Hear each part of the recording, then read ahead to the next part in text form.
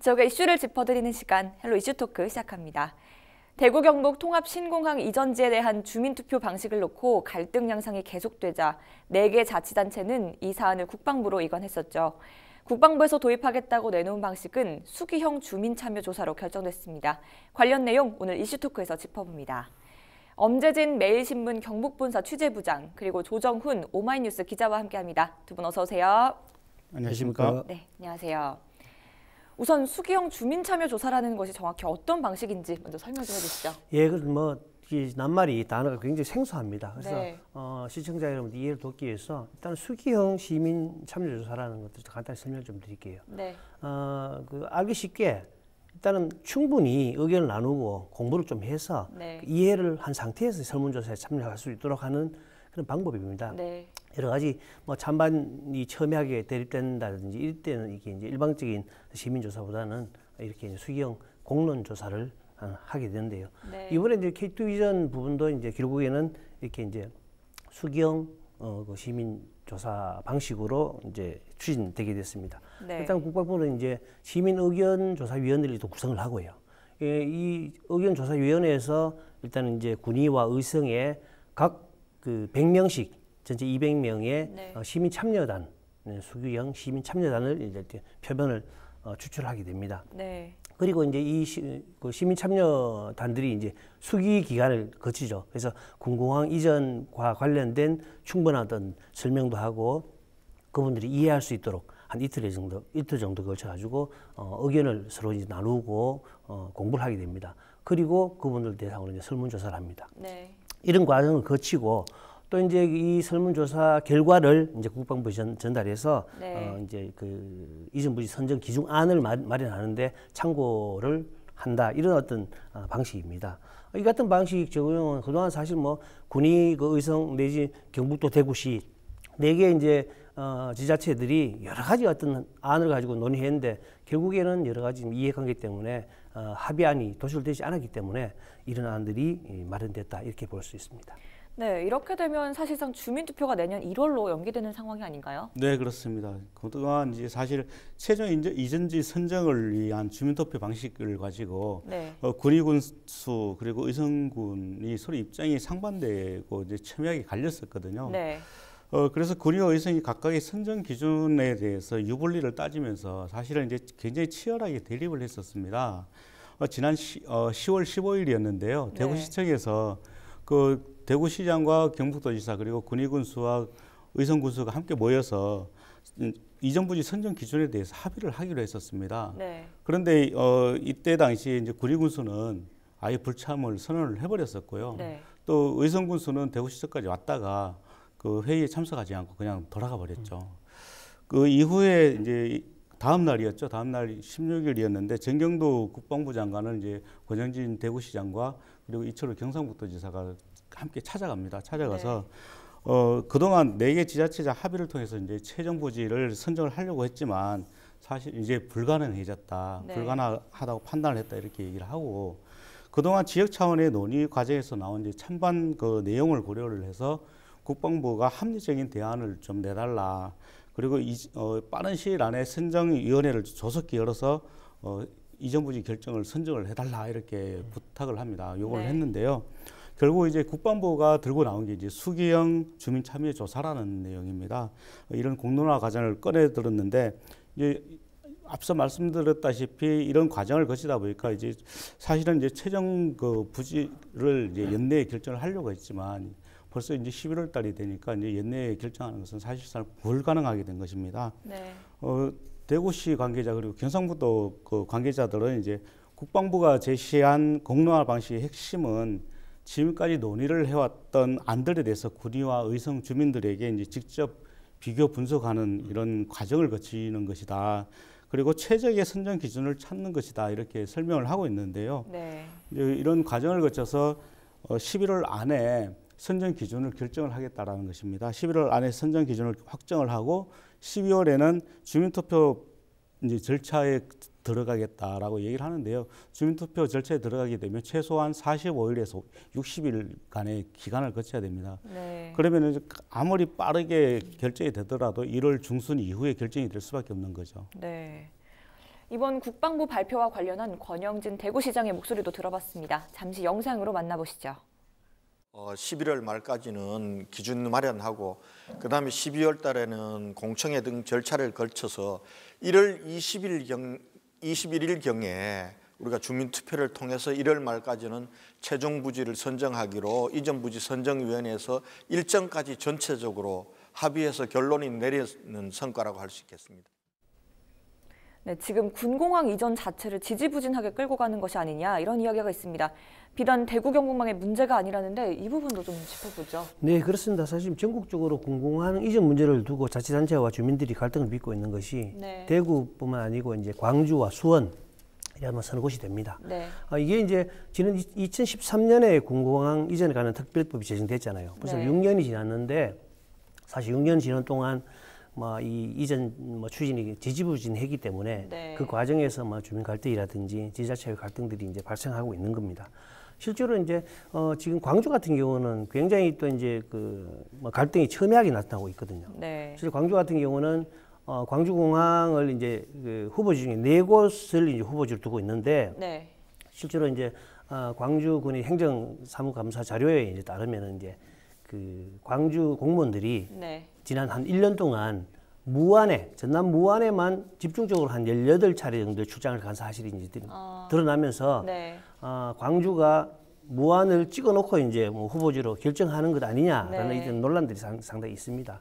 아, 이, 그렇지만 이제 그동안 이제 그 국방부라든지 광주, 광주시 같은 경우는 어, 뭐 시- 실제로 1년간 추진본부에서 이제 무안에 18차를 갔지만은 전국적으로 사실 뭐 110, 막 120차례 정도의 출장을 다녔, 다녔다, 네 곳에. 근데 그 중에 뭐 18곳이기 때문에 그런 건 아니다.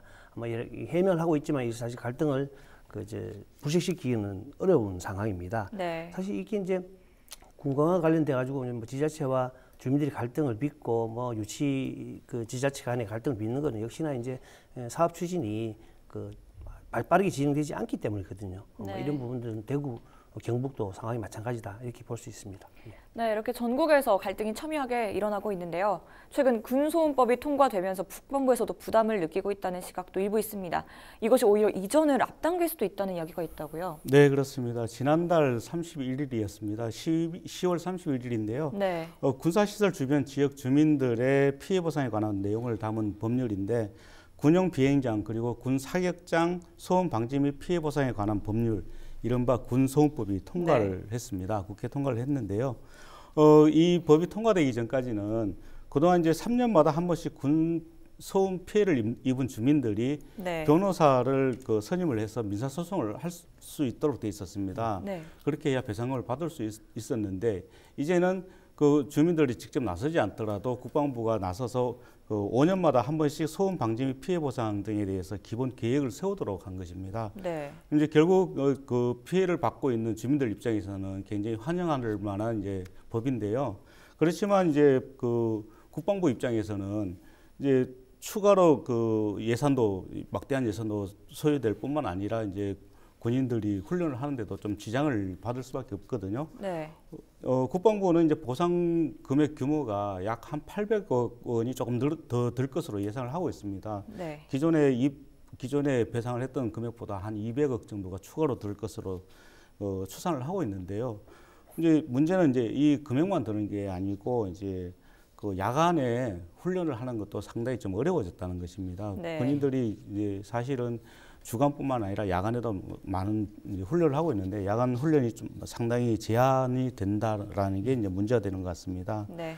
또이 때문에 이제 주민 투표 방식을 그 지자체에서 정하도록 한다든지 아니면 이제 사실 국방부에서 소극적으로 임해왔던 이제 공항 문제가 좀 더 적극적으로 이제 개입을 할 수 있지 않겠나라는 이제 전망이 나오고 있습니다. 네. 그래서 이제 사실은 이제 군공항 이전 사업에도 이 법이 통과함으로써 이제 좀 더 빠르게 진행이 되지 않을까, 좀 물꼬가 트이지 않을까 이렇게 이제 전망을 하는 거죠.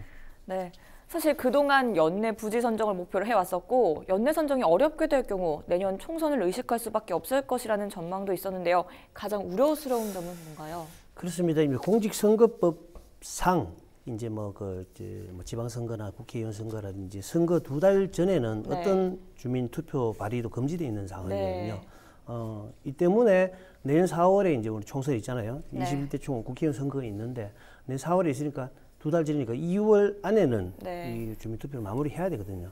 그래서 이제 아까 앞서 이제 조정훈 기자께서 언급하셨듯이 어 이제 일단은 이제 국방부에서 1월 21일로 1일을 이제 데드- 데드 라인으로 일단 뭐 결정 내놓은 상태입니다. 네. 그렇기 때문에 지금의 수, 숙의형 수- 설문조사를 통해 가지고 어떤 방식으로 이제 주민 합의를 이끌어낼 것이냐 결정하고 그에 맞춰가 주민 투표를 붙여야 되거든요. 네. 근데 만약에 1월 21일 날 그동안 계속 갈등이 비- 빚어왔기 때문에 1월 21일 날 어, 주민 투표가 실시가 안 됐을 경우에 네. 어, 총선을 거치면서 또 여러 가지 정치적인 역학 관계라든지 뭐 지자체장의 이해 관계 이런 것 때문에 오히려 또 언제 또 이제 뭐 지지부당이 넣어가지고 어, 우려되는 상황이 있습니다. 실제 그렇다 보니까 어, 뭐, 뭐 꾸준하게 이야기가 되고 있지만 역시나 어, 어떤 방식으로 뭐 결정이 되든 간에 군의와 의성 어, 양 지자체 그다음에 양 지역 주민들의 사실 그 충분한 어떤 그 이해 네. 어, 적극적인 어떤 어, 그 지지가 있어야 된다. 네. 이렇기 때문에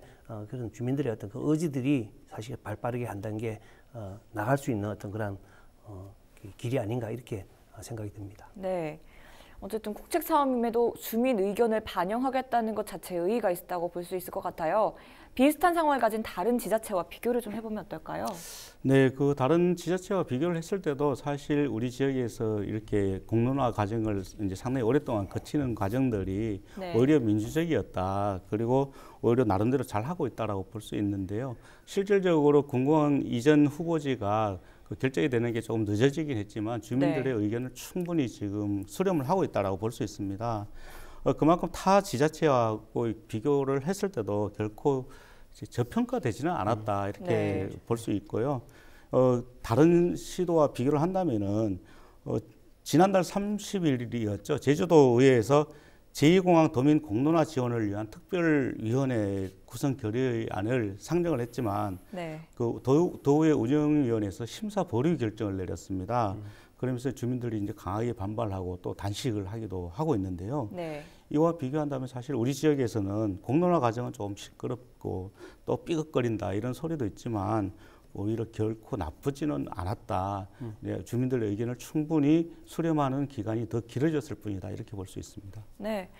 한편으로는 아직도 군공항만 이전하라는 대구 시민의 여론도 있습니다. 이건 어떻게 보십니까?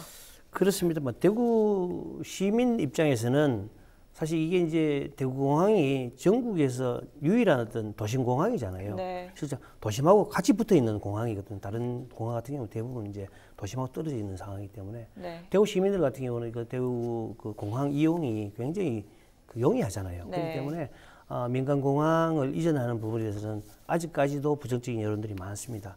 그래서 이제 그 여론들을 등에 업고 어, 이제 그 시민의 힘으로 대구공항 지키기 어, 운동본부라는 어떤 시민단체가 결성됐고요. 이런 시민단체들이 여러 가지 법적 문제라든지 결정 과정에서의 어떤 어, 절차적 문제를 어, 그 주장하고 있습니다. 뭐 네. 법적 대응도 이제 밝히고 있는 상황이고요. 실제로 이제 민간공항 이전 공항 시설법에 어, 의한 절차를 밟아야 하는데 총리실에서 일방적으로 결정하는 것은 무리가 있다. 네. 이렇게 이제 어, 그 법률 위반, 위반 위반이라는 어떤 의견으로 어, 소송도 불사하겠다는 입장을 가지고 있습니다. 네. 어, 그래서 일단은 뭐 어, K2 이 군공항 이전을 하고 민간공항 이전 부분에서 뭐 주민 설명이라든지 주민 공청이라든지 네. 여러 가지 민간공항 이전에 필요한 어떤 그런 공항 부지라든지 여러 여러 가지 부분들을 살펴봐야 되는데 뭐 그런 것들이 사실 그 무시됐다 이런 어떤 의견들을 계속 내고 있습니다. 네. 어, 뭐 이, 이분들은 일단 뭐 설명 자료를 통해 가지고 사실 대구공항이 아까 말씀드렸듯이 전국 유일한 도심 공항으로서 인기도 있고 네. 사실 뭐 최근 들어가지고 연간 400만 명 이상이 이용하고 또 영남권을 뻔- 영남권을 떠나가지고 충청권 네. 일부터 수도권에서도 이제 이분들이 또 이제 어, 이용하고 또 동남아권 쪽으로서는 뭐 저가 항공들이 굉장히 그좀 이렇게 어, 취향률이 높으니까 네. 역시나 민간 공항이 필요하다 얘기에 되고 있는 것들이 이렇게 계속 주장하고 있습니다. 네. 어느 지역에 이전 확정지가 될지는 모르지만 통합 신공항의 속도가 붙으면서 대구 동구가 반사 이익을 볼 것이라는 전망도 있습니다. 어떠십니까? 네 그렇습니다. 이제 통합 신공항 이전지가 확정이 된다면은 이제 그 지금 기존에 있던 통합 신공항 사업 부지도 이제 네. 굉장히 그 구체적인 로드맵도 나오고 또 그 새로운 주거 학- 주거 및 이제 환경 획기적으로 변하게 될 거다 이런 기대 심리가 상당히 높습니다. 네. 어, 그동안 이 사실 그 K2 부지 그리고 대구 공항 부지가 동구 면적이 전체 35%에 달했거든요. 네. 35%에 달하면서 고도 제한이 되기 때문에 굉장히 그 재산권 행사에 어려움을 겪어왔습니다. 그렇지만 이제 K2와 이제 민간공항이 떠나면 고도 제한이 사라지기 때문에 네. 그 주민들도 이제 그 자리에 새로운 그 신도시가 들어서고 또 주변 지역까지도 그, 서- 그 개발하는 동 이제 그 도시 개발에 있어서 굉장히 활기를 띨 것이다 이렇게 지금 전망을 하고 있고 또 새로운 도심 그 중심 도심으로 탈바꿈할 것이다라는 기대도 많이 가지고 있습니다. 네. 어, 특히 이제 이전 부지 자체가 이제 대구의 혁신 도시 그리고 동대구 벤처밸리 또 이시아폴리스 또 금호 워터폴리스와 같이 이제 붙어 있기 때문에 네. 소위 말하는 이제 노른자 땅이 될 가능성이 높습니다. 네. 그래서 미래 발전 가능성도 상당히 높다고 볼 수 있고요.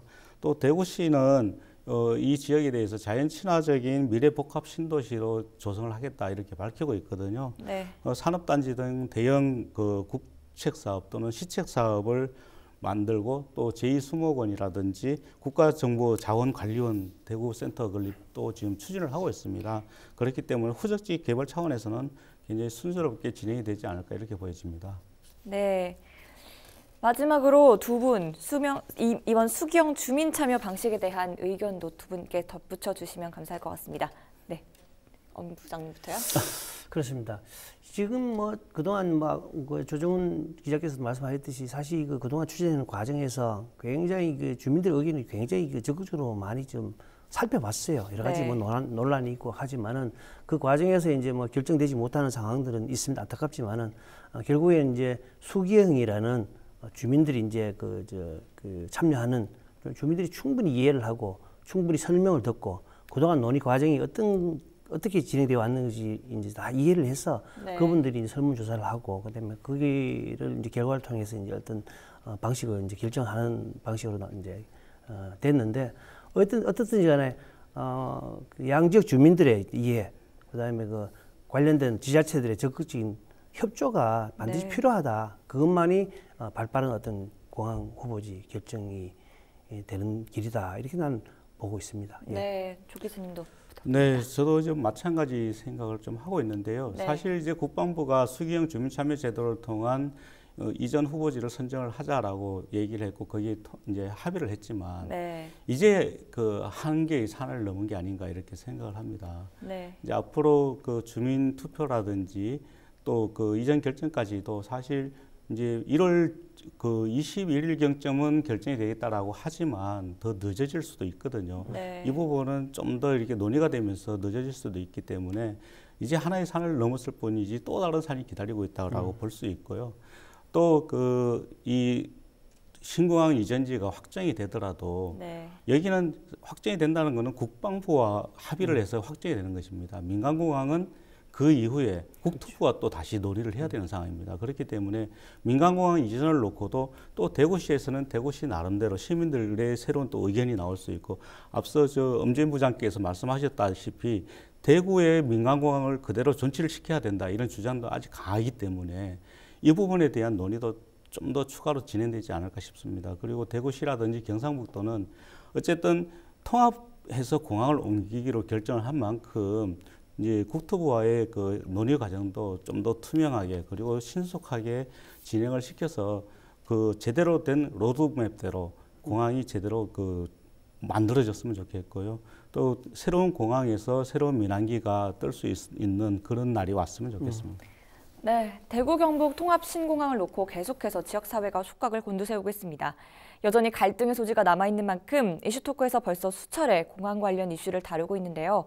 워낙 큰 규모의 사업이다 보니까 상황이 바뀔 때마다 내용을 덧붙여야 할 것 같습니다. 그때 또 다시 이야기를 나눠보죠. 헬로 헬로 이슈 토크 오늘은 여기까지입니다. 함께 해 주신 두 분 말씀 고맙습니다. 네, 감사합니다. 네. sitting next to me, making love to his tonic and gin.